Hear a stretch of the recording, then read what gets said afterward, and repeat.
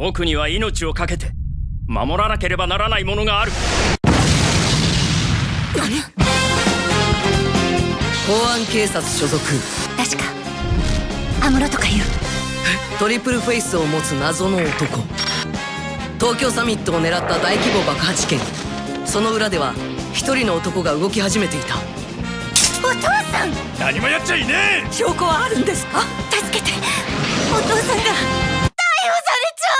毛利小五郎のことになると君は一生懸命だね。それとも蘭姉ちゃんのためかな？なんでこんなことを。善も悪も。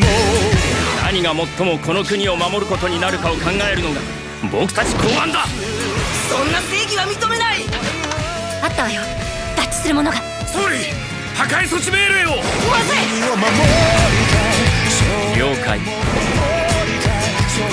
魂がぶつかり合う抜かるなよ。シークレットミッションミステリー。安室という男は人殺しだ。俺のそばを離れるな。どんなに憎まれようとも最後まで。正